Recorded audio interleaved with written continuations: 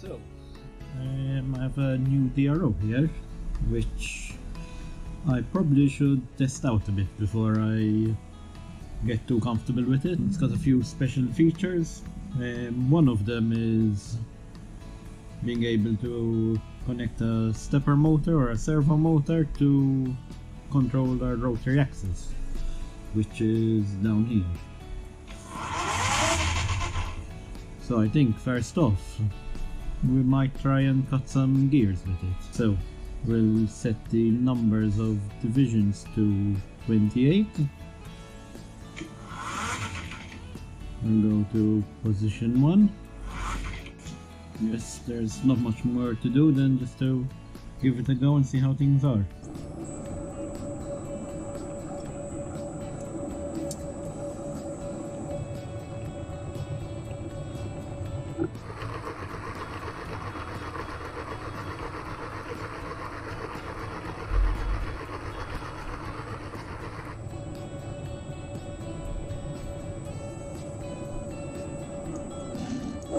That's the first two 3D. We'll go to the next one, I guess. So it's easy. It's the easy as that. Just press a button and should be good to go.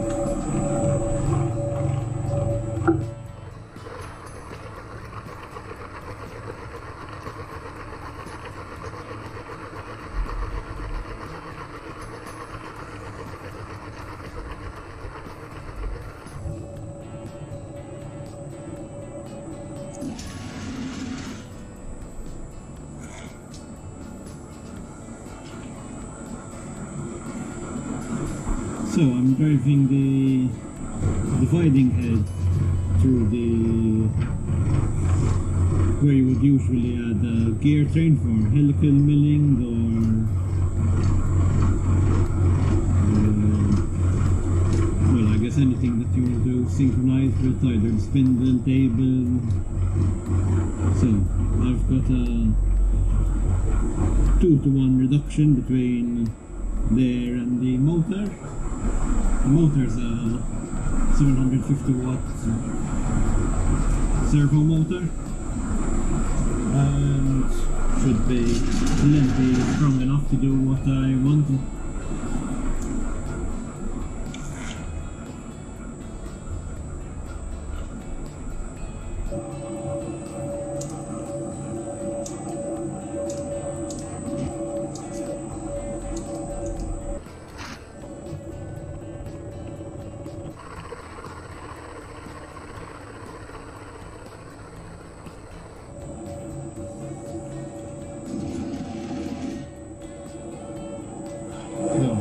We'll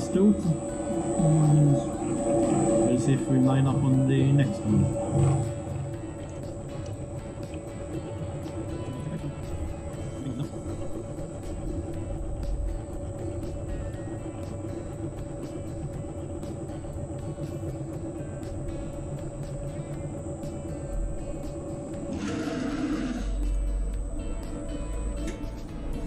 So, that's the gear ready.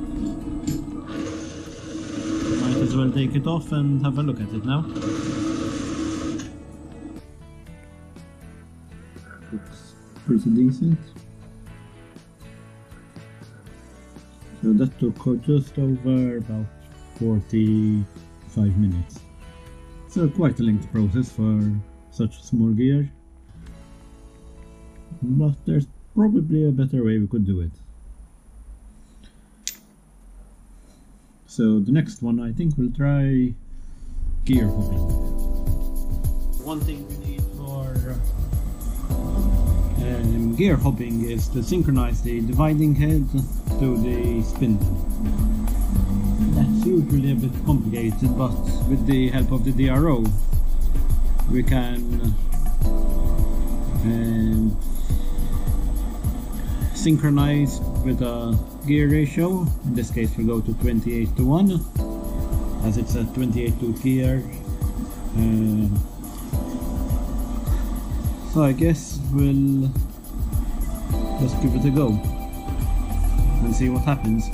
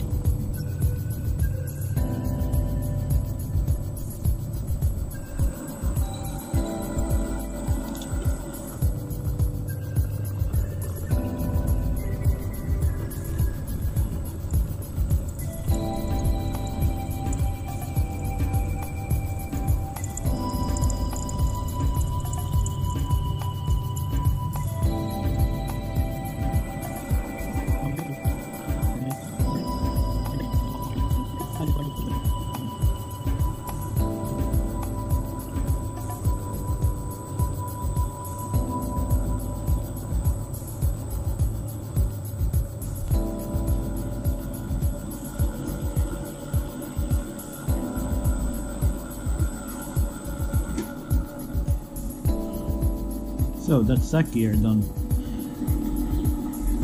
Um, all in all, it took about half the time um, it did with a regular cutter.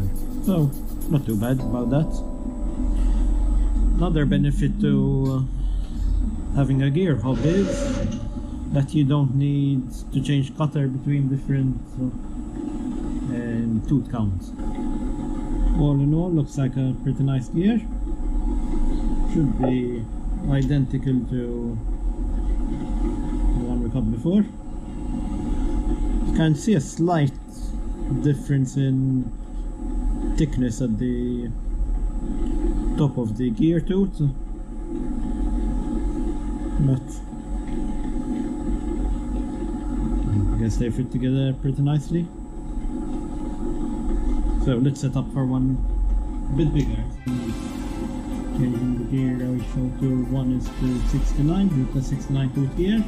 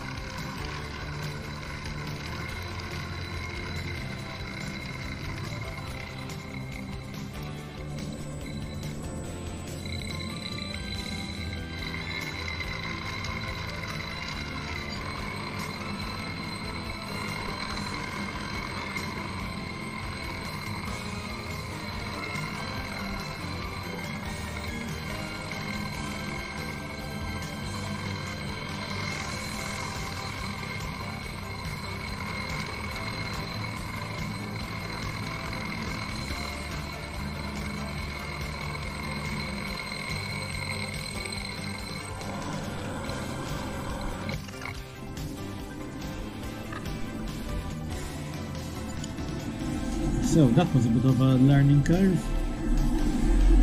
So I suspect that uh, I don't have a slow enough feed to go around to allow the cutter to go around one full revolution before it feeds in. So I started feeding in manually and I tried climbing. Went much better, but it's not very consistent. But the gear looks like it turned out pretty nice.